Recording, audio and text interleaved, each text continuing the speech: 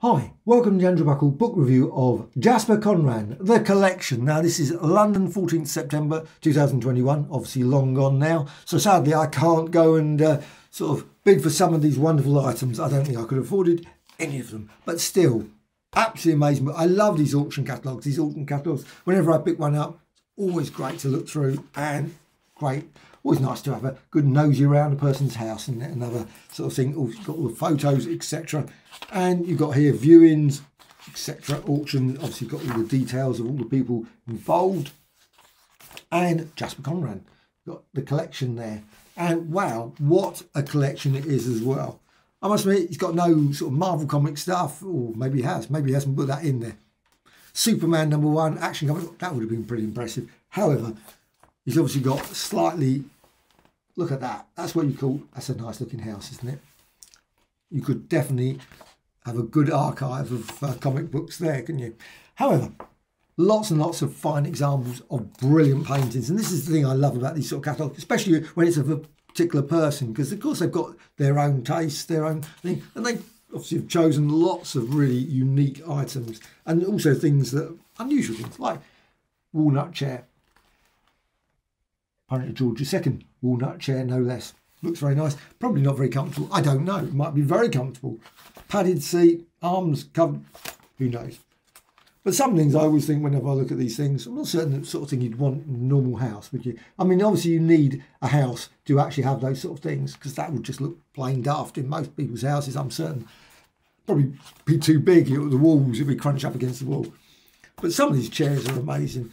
And I love look at that. Also, you've got it in uh, obviously context as well, so you can see the rooms with all the various items. Obviously, he was selling just crazy, amazing. I mean, this sofa here, Victorian sofa, that's beautiful. Now you could sort of lounge on that and sort of write a the odd novel, Victorian novel, couldn't you? I suppose. And these ones here, are, wow, arm, easy armchairs. I don't know what this one is.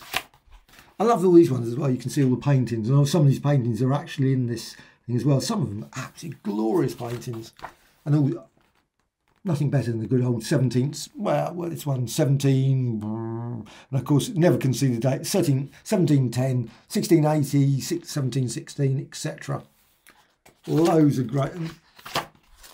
Well, lots and lots of these marble statues, etc. Oh, this one, look at that, just beautiful paintings of a family, absolutely glorious. Now, what one's that one? 1697, 1765. Uh, it does give a little bit of detail. The Russell family were an upwardly mobile Basingstoke family living first at Bedford House before building a large house, etc., etc. So it gives a bit of background of these people as well. It's always fascinating. I love looking at these old paintings. You just look, you just think, what were these people like? I mean, obviously a completely different world. Completely different. They would probably be completely, utterly, wow, that world, They're completely changed. But uh, still, you've got lovely uh, statues and things here obviously some of these after antiques, etc. But you got this one along. Oh, look at that! Just glorious. I don't know how much some of these went. They always they always put a price, of course, in it three thousand to five thousand a, a frame. Just a frame, just a frame, just that frame. Three at five thousand. Yeah, buy five hundred of them, obviously no.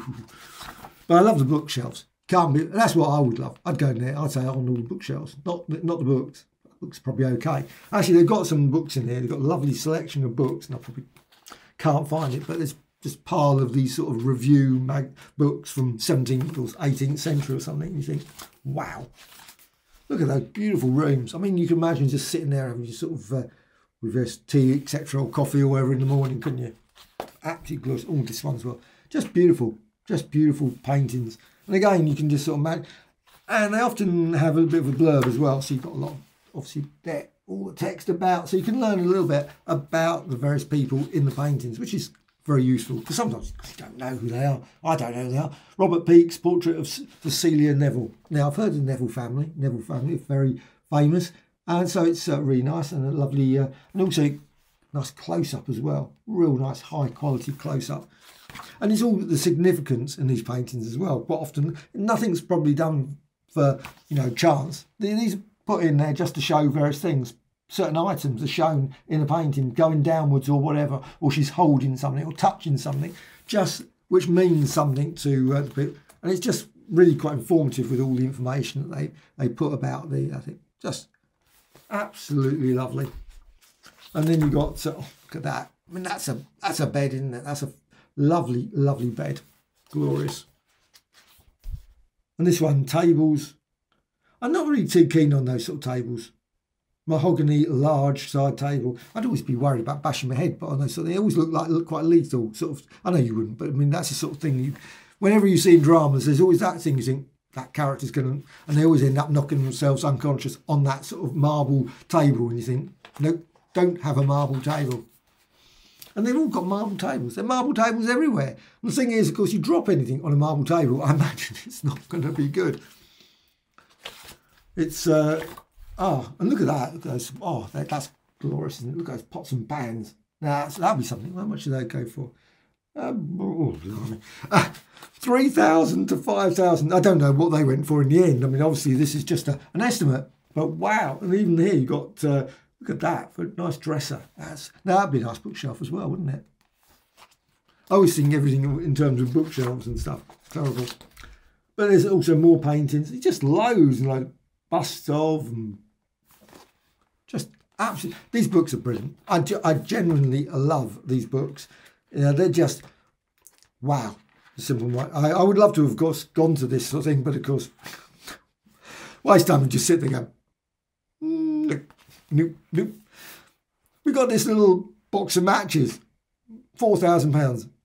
Nope don't think so. But wow, what a collect! I mean, that is just an amazing collection for a lifetime of, of just collecting brilliant, beautiful works of art. I just, you just have to say that is a lovely, lovely selection of things. Uh, wow, I just, I love these books. Absolutely great, and uh, well, totally recommending checking these out. So if you can go and find a Christie's catalogue, of course it's at Christie's, Sotheby's, and all, of course others as well. They're always fascinating.